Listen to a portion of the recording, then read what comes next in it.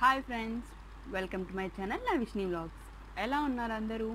I hope అందరూ సేఫ్గా ఇంట్లోనే ఉన్నారని నేను అనుకుంటున్నాను. సో ఈరోజు నేను మీ ముందుకు వచ్చేసాను ఒక super simple and easy tasty recipe తోటి.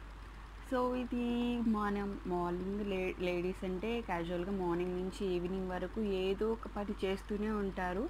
అందులో అందరు ఇప్పుడు ఇంట్లోనే ఉంటున్నారు కాబట్టి ఏదో ఒక వర్క్ ఉంటూనే ఉంటుంది. సో మార్నింగ్ నుంచి ఎలాగో కష్టపడతారు కదా ఈవినింగ్ స్నాక్స్ టైంలో కూడా ఎందుకు అంత కష్టపడడం? అందుకనే సింపుల్గా చేసే చేసుకునే మనము సింపుల్ స్నాక్ అనమాట ఇది.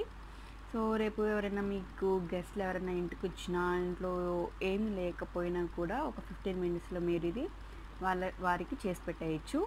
అలాగే మీ పిల్లలు కూడా స్కూల్ నుంచి వచ్చినా కూడా వాళ్ళకి స్నాక్గా ఏదన్నా చేయాలి అనుకుంటే ఒక టెన్ మినిట్స్లో అలాగే చిటికలో చేసేయచ్చు అనమాట ఓకే? మరి ఇప్పుడు ఆ రెసిపీ ఎలా చేయాలి అనేది చూసేయండి.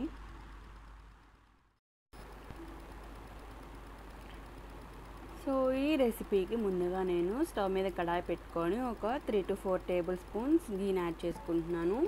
సో మీరు ఇక్కడ మీకు ఇంట్లో అవైలబుల్ ఉంటే కాజు మరియు కిస్మిస్ని కూడా మీరు చేసుకొని పక్కన పెట్టుకున్న తర్వాత సేమియాని ఫ్రై చేసుకోండి ఫ్రెండ్స్. నా దగ్గర లేవని చెప్పేసి నేను యాడ్ చేయట్లేదు.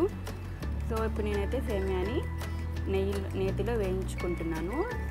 ఇది కలర్ చేంజ్ అయ్యేంత వరకు కొంచెం లైట్ బ్రౌన్ కలర్ వచ్చేంత వరకు మీరు ఫ్రై చేసుకోవాలి.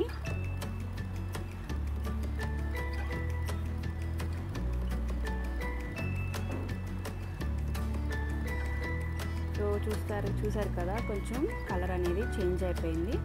సో ఇప్పుడు నేను ఏ గ్లాస్తో అయితే తీసుకుంటున్నానో ఆ గ్లాస్ తోటి two glass two glasses of water నేను తీసుకున్నాను. అంటే ఒక గ్లాస్ సేమియాకి టూ గ్లాస్ వాటర్ అనమాట సో నేను ఇక్కడ వన్ అండ్ హాఫ్ కప్ తీసుకున్నాను. కాబట్టి నేను three glasses of water add చేసేసుకున్నాను. సో ఇప్పుడు సేమియా నీట్గా ఉడికిన తర్వాత మనం షుగర్ని యాడ్ చేసుకోవాలి.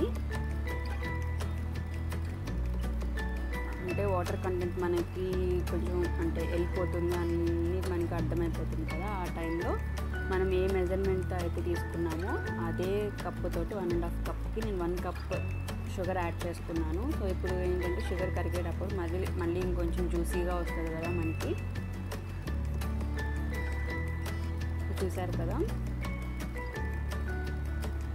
సో ఈ స్టేజ్లో ఉన్నప్పుడు మనము ఫస్ట్లో ముందుగా వేయి వేయించుకున్న జీడిపప్పు మరియు కిస్మిస్ని కూడా ఇక్కడ యాడ్ చేసుకోవాల్సి ఉంటుంది ఫ్రెండ్స్.